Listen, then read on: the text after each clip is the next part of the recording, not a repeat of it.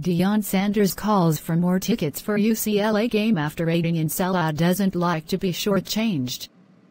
Deion Sanders during an appearance on the Colorado Football Coaches Show, the Buffaloes head coach addressed Colorado's upcoming sellout matchup at UCLA.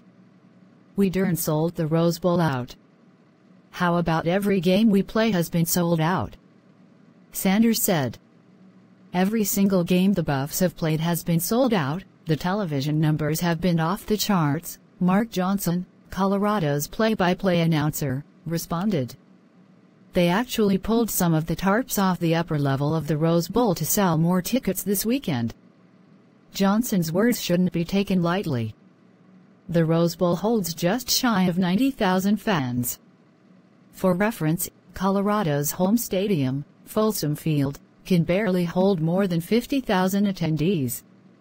While the figure is a fraction of the Rose Bowl's capacity, Colorado fans have made their presence known.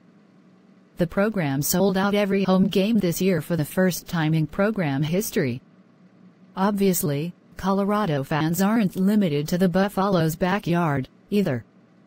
Due to the obvious attention Colorado will bring to Saturday's matchup, Sanders believes CU fans should receive more tickets. Hopefully we can get accommodated with certain tickets, because they only give us so many, Sanders said. You'd think they want to give us a few more tickets, because we sold the thing out. That would be kind, wouldn't it? Colorado will enter UCLA with a week of rest by its side. The team enjoyed a bye week after falling to Stanford in double overtime in Week 7.